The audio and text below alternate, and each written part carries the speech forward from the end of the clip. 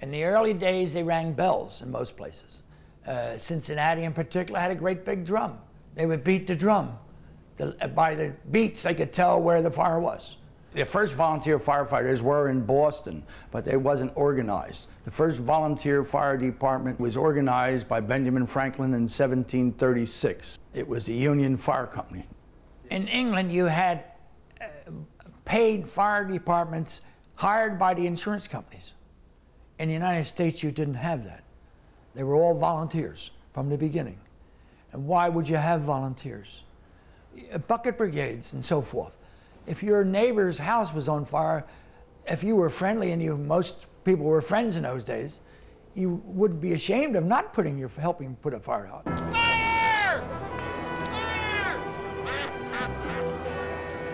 There was a fire in 1700s. Everybody was required to have two buckets in the household. When the fire warden would come down the street and yell fire, the, the buckets would be thrown outside the house. Uh, the firefighters would pick the buckets up going to the fire and use the, le the leather buckets. They would always carry a bed key with them before they went into the fire. The bed key was used to take the bed apart, which was the most important piece of furniture in a house. In 1730, uh, Philadelphia and New York ordered two fire uh, piece apparatus from England. It was a little hand pumper, not much longer than five or six foot long and the water was put into the tub and it was pumped by hand by two to four men. Then you had double deck fire engines came into being. And by a double deck, it means putting someone up on top that would be able to pump also. So you started with four men up on top and six men or eight men down the bottom. So you'd have 10 or 12 men pumping an engine. When you were pumping with a hand engine, you'd pump maybe 30, 40 strokes a minute. Within three minutes, you were totally exhausted you had to replace it with a new crew. Beside the fact you pulled the fire engine by hand to the fire grounds. They didn't use horses in the early days. So you had men exhausted from pulling it to the fire. You had men exhausted within three minutes from pumping. So you had, a, you had to have a big crew to keep replacing the men. And they used this type of engine clean up until the days of steam.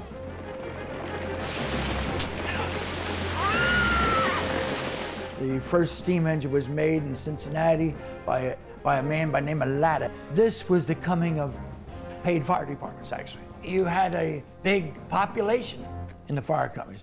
Let's take Philadelphia, for instance. You had 92 fire companies in, in, in Philadelphia. They had two to 900 members in each company. It caused a lot of rowdyism. The firefighters were on their own, but they were reimbursed by the insurance companies for fighting fires. So they always wanted to be there first. The first company in would get the lion's share of the money. So they would fight to get there first. They would fight over fire hydrants and so forth. And then when steam came in, this was the solution of why get rid of the fire department. You didn't need as many men. You didn't have to pay. You'd pay a few men to do the work of many men.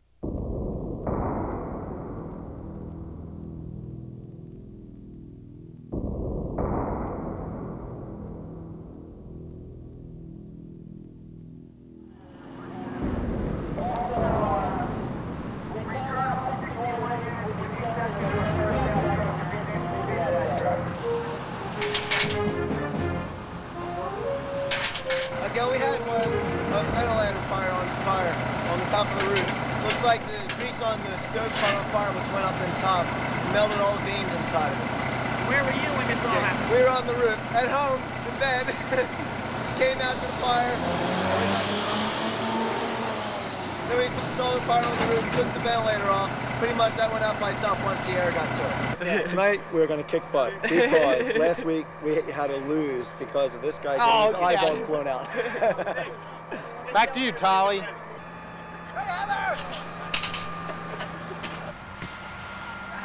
The community definitely does not know what we do.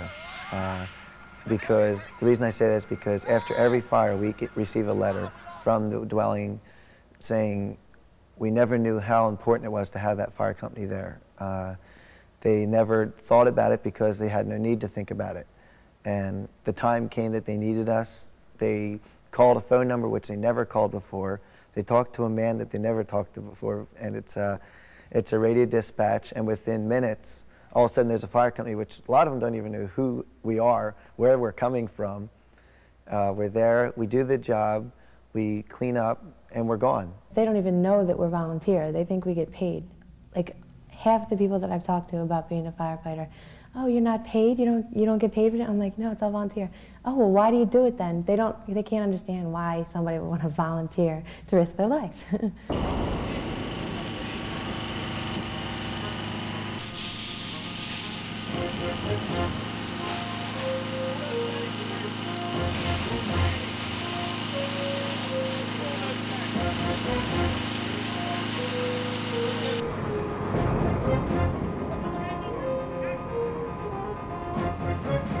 Township people, you never keep them happy. Uh, you know, you spending 45 minutes cutting somebody out of a wreck in the street and you've got 10 people leaning out of their car screaming at you because they can't get home on time. You know, we had here was your, your basic kitchen fire. Uh, they had grease on the stove. They left it unattended. Uh, the grease hit its flash point, it ignited. The fire spread up across the cabinets. Uh, near as I can tell, the homeowner must have tried to get the grease to the sink and sustained some light burns and dropped the grease and then it ignited across the rest of the kitchen. You never know from one moment to another when your call is going to come, of course. And uh, if you're really interested and uh, in any way dedicated, it means that you're going to drop what you're doing, jump and go. We went three years in a row that I never saw midnight on New Year's Eve.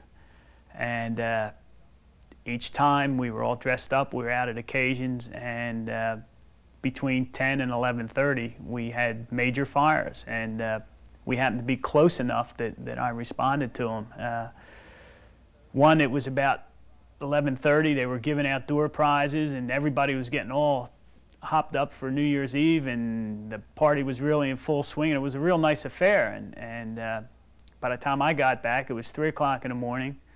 Uh, I had a new suit that was totally ruined. Uh, smelled like I'd been drugged through a burn-up warehouse, and uh, it really it ruined the entire evening. And uh, it took her a couple days to get over that one. We're gonna spray underneath the car as we go to keep the gas tank cooled down, and then we'll open up the, the door if we can. It takes a lot of time because you have to go to training. I missed my birthday this year because of training, because I had to go to fire school.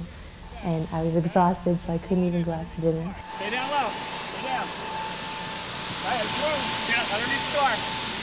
Stay down, down, down.